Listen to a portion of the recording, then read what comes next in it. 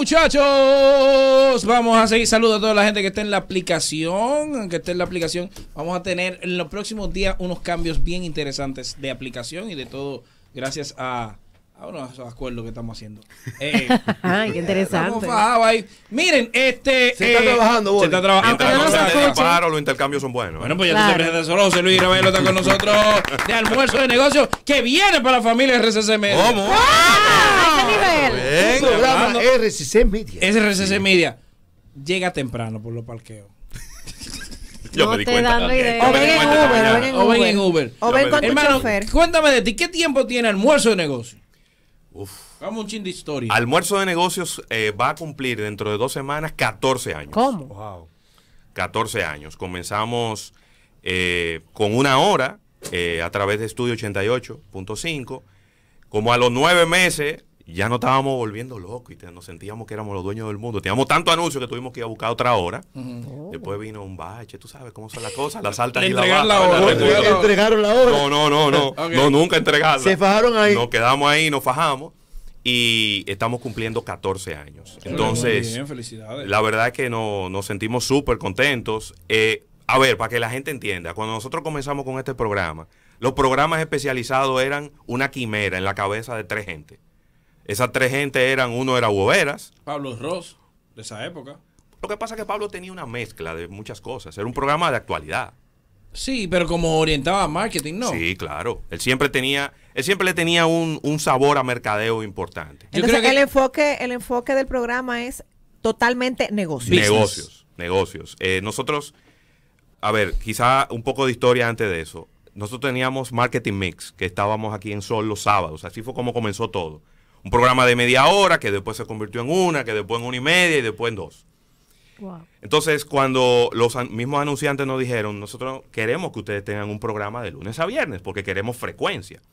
Y entonces ahí nace almuerzo de negocios. Pero la principal disyuntiva es cómo hacemos un programa diferente que no sea la repetición del programa del sábado durante la semana. Y son dos horas. dos horas. Eran dos horas de lunes a sábado, ¿no? Wow. Y entonces ahí es donde decidimos que cada día iba a tener un tópico. Entonces, los lunes son de creatividad y medios. Y ahí tenemos con nosotros a Erika Valenzuela. Los martes tenemos a Alfredo Ninco manejando los negocios, hablando de la industria del automovilismo y de la movilidad. Muy bueno, muy bueno. Muy bueno. Tenemos a Víctor. Hay cambio. Y los y también a Víctor de Champs desde Carolina del Norte hablando de entretenimiento y espectáculo. Sí, los tiempo. miércoles a Isaac Ramírez hablando de tecnología. Los jueves a Eriden Estrella hablando de economía, eh, eh, vamos a decir que sociopolítica, criptomoneda, todos estos temas tan interesantes. Y los viernes, Natacha Peña y Claudio Irujo hablando de deportes. Entonces, si te das cuenta, lo que hacemos es repasar todos los temas más importantes dentro de los negocios, además de dar la noticia más importante, cómo está la bolsa de valores, cómo va el dólar, cómo está el petróleo, un poco lo que necesitaría saber una persona que está en el mundo de los negocios para estar informada de todo lo que está ocurriendo. Pero bien. ¿Qué tal le ha ido a ustedes con el tema podcast, que Spotify? Que, Súper. que- porque Súper. el- el- al ser como, como un programa, como tú dices, bien a un nicho específico, Claro. esto funciona muy bien en podcast. Sí, a nosotros nos ha ido súper bien. Eh, cuando comenzamos con el, con el programa diario, que sacamos la página web almuerzodenegocios.com, empezamos, todavía no es, Spotify era, qué sé, bueno, Sí, era exacto, un no, bebé, no, no, un piropo, era, claro. era Spotify. Y entonces nosotros empezamos a tomar el audio del programa y a colocarlo en la página para que la gente lo oyera por la página. Y ahí empezó a tener auge. Luego, con, con todas las plataformas que hay hoy en día, pues ahí sacamos la, la aplicación de almuerzo de negocios, que está tanto en, en Google Play como en, como en Apple, eh, como en el App eh, Store. App Store. Y entonces ahí la gente puede escuchar el programa tanto en vivo las dos horas, como los, los segmentos picaditos de los de, de los diferentes tópicos que tratamos en el programa. Además, en el canal de YouTube, en vivo las dos horas y también unos fragmentos de las cosas más importantes que ocurren durante el día. ¿De qué hora a qué hora va a ser el programa? De 12 a 2 de la tarde. Ese es el, ese es el cambio quizá principal. Uno siempre le da un frito cuando uno cambia de horario. Sí. Sobre todo también ¿En cuando cambia de frecuencia. Estábamos de 1 a 3, que ese es el lío de los nombres, ¿verdad? Porque como es almuerzo de negocio, no puede Sí. ser ninguna otra No, hora ya. que no No, sea la hora con Raimundo, eran de tarde, después a las 7 de la noche, la noche con Raimundo, madrugando con Raimundo, almorzando con Raimundo. A la hora que el dueño quiera con A la hora Raimundo. Amaneciendo con Estoy con Raimundo. Raimundo. Cuando se acabe el tripletazo con Te lo Raimundo, puse. Pues Con Raimundo. Te voy a decir un nombre que no se ha usado nunca en la historia. Para de repente te animas. Raimundo y algo más. ¿Ey? wow. Sí. Raimundo No se y Todo el que no sabe nada de mercadeo le pone y algo más Y algo en, más. en el- una. Raimundo de aquí por Napi.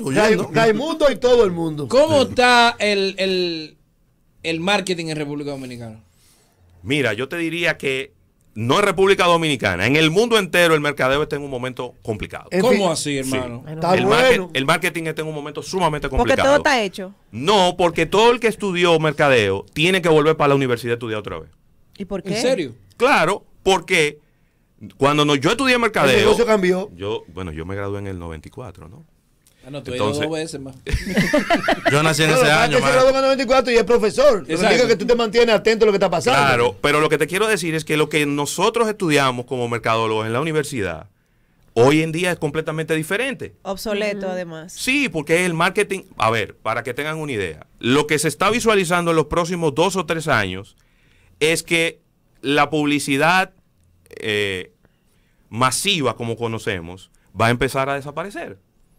Cada uno de nosotros va a recibir un anuncio diferente. Exacto. Que ya está casi pasando. Claro. De hecho, la publicidad también cambió, cambió muchísimo. Hay agencias publicitarias en, en Nueva York que están trabajando un modelo en donde en el televisor de tu casa tú vas a recibir un anuncio por el perfil tuyo. Sí. no solo en los sí. celulares. Es decir, ay, si tú tienes hijos, si tú estás casado, si tú tienes niños pequeños, esos son los anuncios que vas a recibir en tu televisor. Ok. Si tú eres soltero, si tienes... Infiel. Bueno, eso no tendría mucho, eso no tendría mucho que ver. No, a ti te van a salir los dos. no pero ¿cómo a él? A mí. de los niños, de los Acuérdate a niños. mí, a mí, a mí, a mí, a mí, a mí. No, y a, y a Bolívar. ¿Quién, No. ¿Quién dijo eso? ¿Quién habló? ¿Quién habló? Mira, una pregunta, y, y qué bueno que Ivonne menciona el tema de la publicidad, porque siempre se ha confundido tres términos, que es el de relaciones públicas, mercadeo y publicidad. ¿Cuál es la diferencia, básicamente, Sí. entre las tres ramas? Quizá empezar de arriba para abajo. Sí. Nada más Eh, él lo confundió eso. No, no, no, No, toda- no, no, no, hay no mucha gente. No, ¿eh? Mira, eh. vole, vole. Tú también, tú también pasaste por eso. Dale, Sí, sí, sí, claro, Sí, La gente tiene que aprender. Claro, No, pero principalmente No, no, no, y googlear, y googlear. Claro. Y en YouTube hay tutoriales. también. Mira, déjame decirte algo. Lo peor que le puede pasar a una gente que tenga esa confusión es googlear. ¿Por qué?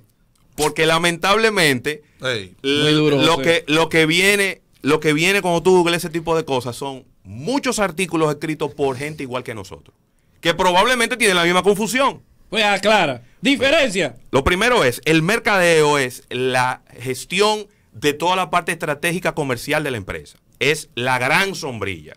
Ahí tú estableces cuál es el objetivo de la empresa, cuál es el, eh, el fin que se va a lograr.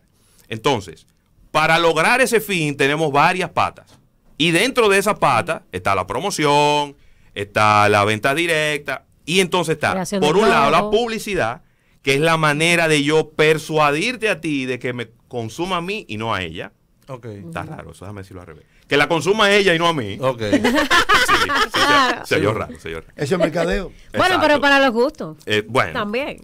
y las relaciones públicas es la manera de tratar de hacer eso mismo, pero no a través de persuadirte, sino de cambiar tu visión y mi reputación frente a ti. Entonces, cuando yo mando una nota de prensa diciendo, eh, almuerzo de negocios, celebra sus 14 años con nueva casa y nuevo horario, eso en el fondo, si sale en un, en un artículo del periódico, es relaciones públicas.